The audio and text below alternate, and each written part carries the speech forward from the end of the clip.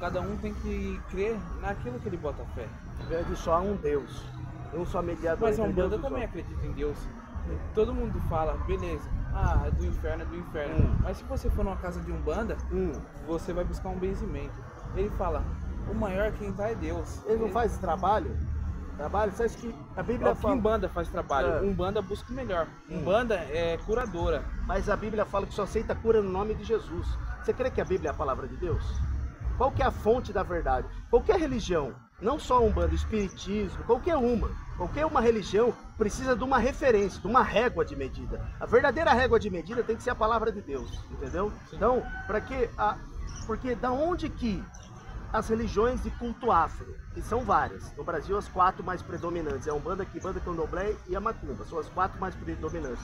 Qual livro elas se baseiam? Porque a gente não pode criar, um- porque senão hoje, daqui a pouco, vi- cria um outro terreiro. Porque você sabe que os terreiros entre si, cada um tem a sua, vamos dizer assim, doutrina. Sim. Não são todos iguais. Não, óbvio. Entendeu? não. Então, mas uma outra coisa, Jesus Cristo, a Bíblia diz que ele fica conosco até o fim dos séculos. Jesus Cristo, ele fala, estarei convosco até o fim dos séculos. Eu estava lendo sobre os orixás e diz que quando um pai de santo está próximo da morte, o orixá o abandona. Jesus não abandona aquele que o serve, entendeu? E sobre outra coisa, Jesus quando morreu na cruz, ele foi o verdadeiro cordeiro, o único sacrifício que ele fez e morreu uma vez por todos os homens. Hoje Deus não requer mais sacrifício de homens.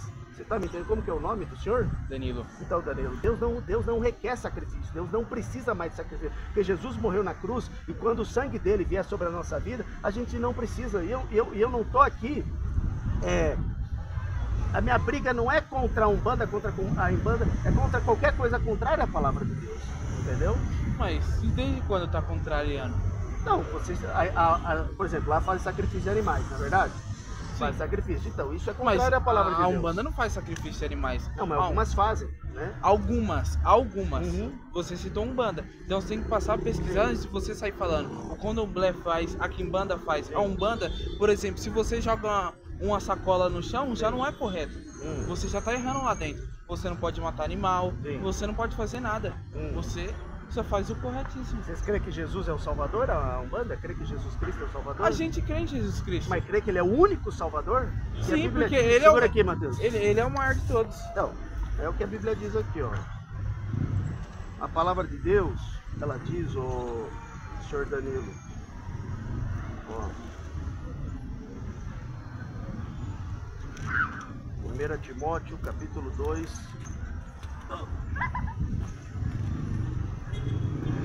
Ó.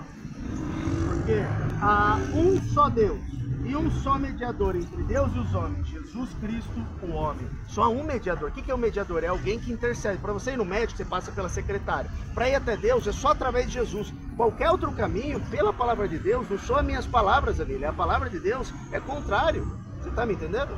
É o que a Bíblia diz, Danilo, entendeu? Eu- você não é obrigado a crer. Eu, eu, eu tô te obrigando aí na minha igreja? Tô te obrigando? Desde quando eu falei Não, alguma coisa? eu não sei, entendeu? Não tô te obrigando a você ir na minha igreja. Então aqui, você eu não tô aqui... obrigando você Não, sim, é, mas, entendeu? É, aí entra ali a- a- o livre-arbítrio. Deus deu livre-arbítrio. Eu, eu sigo... E outra, eu sigo o livre-arbítrio que é cada um crê no que quiser, faz o que quiser da sua vida. E outra, a Constituição Federal Brasileira nos permite exercer a religião. Eu não tô proibindo a Umbanda e fazer o que ela, o que ela quer fazer. Se quiser falar aqui abertamente, pegar uma caixa de som, qualquer umbandista de qualquer religião, do espiritismo, até católico, catolicismo, eles têm a livre liberdade. Eu não estou proibindo ninguém de, de exercer, tá me entendendo? Eu só Sim. pregando o que eu creio. Se cada um tem o livre-arbítrio Hum. de falar o que quiser, e, na verdade falar o que quiser não, escolher a sua religião, Sim. por que você tá estragando a crença dos outros Não, vindo eu falar tô- de um bando? eu- Fala sobre a sua Eu não religião. tô estragando. Eu Você tô tá anunciando que eu tô anunciando as palavras de Jesus, que ele virá no céu como labareda de fogo. Virá como fogo, tomando vingança daqueles que não conhecem a Deus, não obedecem o evangelho. O que é conhecer Mas a Deus? quem não conhece Deus? Então, mas conhecer a Deus é pela palavra, eu já disse, através de Jesus Cristo. Não tem como conhecer a Deus se não for através de Jesus. Ele é o único mediador. Você crê que Jesus é o único mediador? Sim. Então, então se, então, se Jesus é o único mediador, qualquer outro meio de consultar, por exemplo, na- no- no- até onde eu sei, nos terreiros, acontece uma incorporação Sim. de um orixá e a pessoa vai falando a respeito, né? Toma, sobre ah, o que a pessoa tem que fazer, como ela tem que agir na vida, não é verdade? Não é assim que funciona? Então isso já está contrário à Esses palavra de Deus. funcionam. Então, mas é contrário à palavra de Deus. É contrário, Danilo. Porque a única maneira da gente conhecer a verdade não é através de um padre, de um pastor, é através de Jesus Cristo, é a Bíblia. Entendeu? É o único caminho. A Bíblia diz: Conhecereis a verdade e a verdade vos libertará. Se, pois, o Filho vos libertar, verdadeiramente sereis livres. O único que pode nos libertar dos nossos pecados é Jesus Cristo. Tá aqui, ó, o irmão Mateus. Saiu do tráfico de drogas. Saiu do tráfico de drogas, vendia droga, fazia um monte de coisa errada e está aqui, servindo a Jesus Cristo. Não é o melhor caminho? Não é o único mediador, Mateus? Então tá aqui, entendeu? O irmão Mateus, eu também saí de uma vida de prostituição, vida ia pra balada, fazia, fazia só a vontade da carne e Jesus me libertou. Eu só estou apenas a anunciar aquilo que fez bom para mim. Você tá me entendendo? Você faz, se você acha que não é bom, você não é obrigado assim. Eu, mas, eu, mas eu te dou toda a liberdade de você vir me questionar. Né? Eu sou uma pessoa aberta, eu sou uma pessoa para dialogar, entendeu? Eu não sou como muitos que é fechado, não, de maneira nenhuma, eu estou para dialogar. Se você me provar que eu estou errado, eu falo, ó, a partir de hoje, Danilo, então eu vou começar a seguir a sua crença. Mas você precisa me mostrar pela palavra de Deus, que é a única fonte de verdade. Tá certo? Tá, tá certo? Tá certo. É isso aí. Deus abençoe sua vida.